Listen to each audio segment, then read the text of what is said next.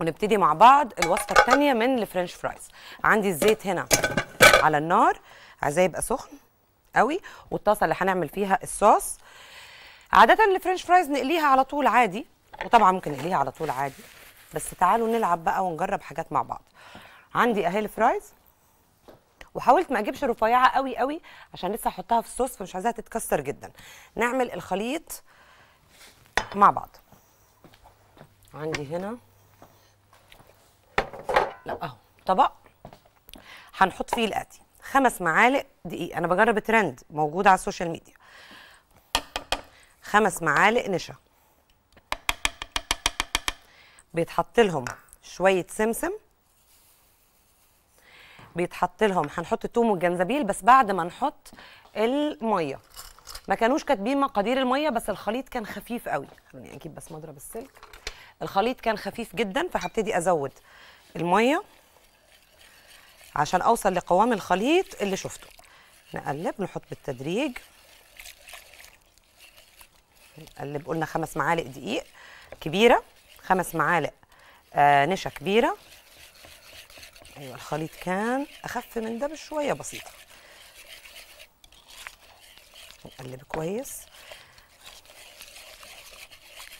شوف أخف ولا أتقل لأنه أنا عايزاه يغطي البطاطس. يمكن محتاج رشة هاتوا نحط شوية دقيق. محتاج يبقى قوامه يمسك كده على البطاطس. هحط شوية. نشوف.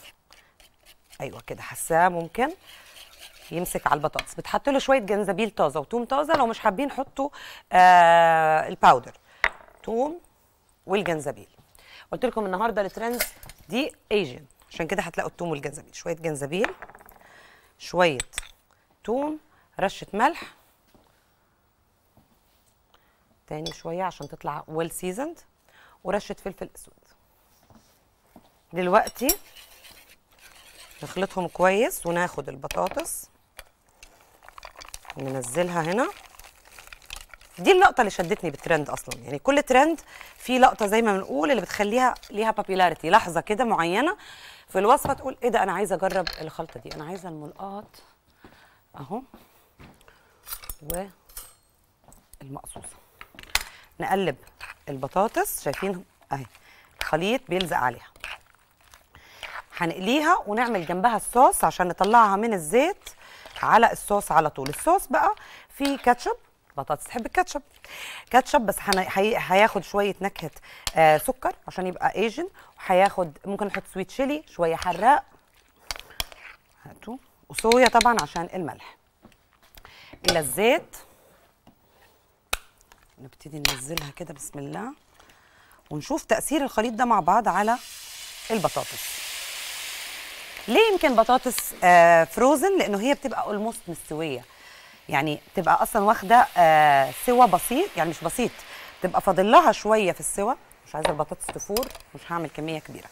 فهي مع الخليط ده هيتحمر أكيد بسرعة. فأكيد لازم تبقى مش نية. تعالوا نشوف. أهي شايفين الكوتنج اللي عليها؟ زي التنفوره إذا تعالوا نعمل الصوص مع بعض. الطاسة دي بتسخن على النار. هنحط معلقتين كاتشب. هنحط شوية هوت صوص هنحط شوية صويا صوص وممكن تحطوا سكر أو عسل. أنا حابة أحط sweet chili sauce لو مش عايزين sweet chili sauce ممكن تحطوا آه عسل. بس sweet chili sauce بيبقى مسكر. أهو. شايفين؟ ممكن تكتفوا بيه على فكرة.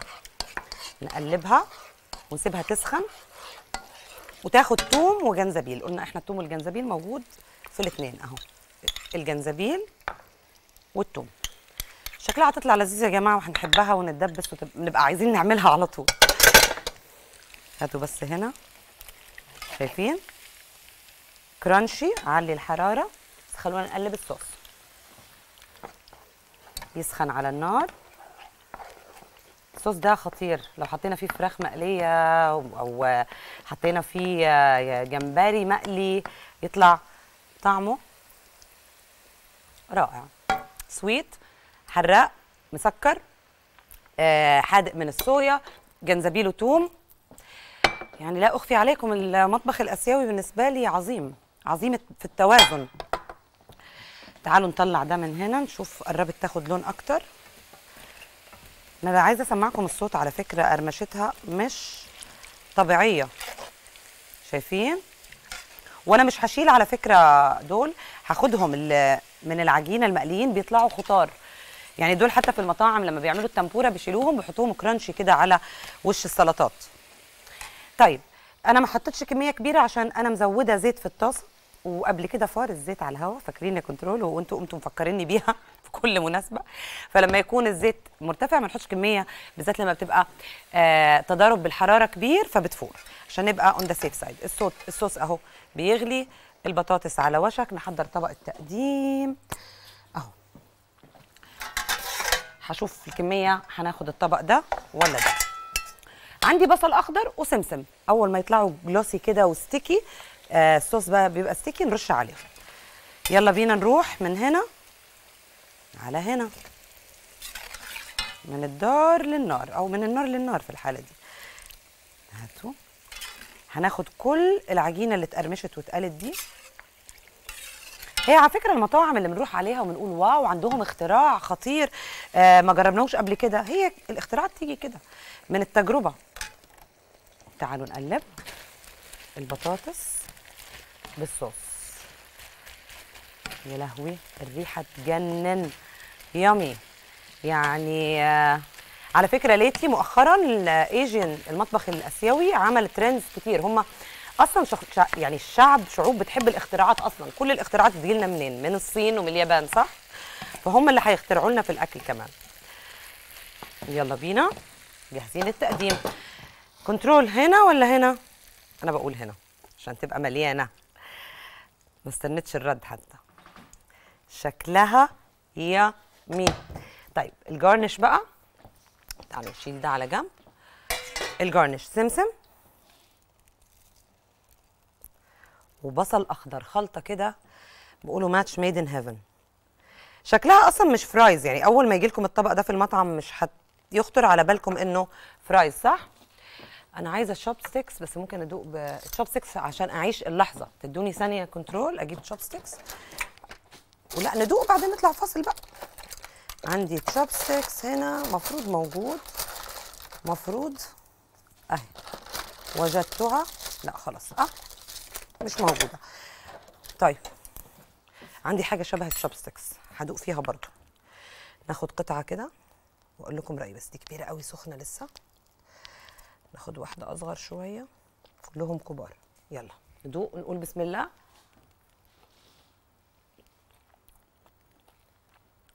وهمية. البطاطس مقرمشة من بره من جوه مستوية قوي. عشان كده هي بتبقى ال store bought ال frozen هي almost مستوية. الصوص يا جماعة هو الحكاية. الصوص ده لو اتحط على كوسة مقلية على مشروم على فراخ على لحمة عظيم اللي بيحب الأكل الآسيوي واللي ما بيحبوش لازم يجرب الطبق ده. نطلع فاصل ونجرب الترند اللي بعدها. استنونا.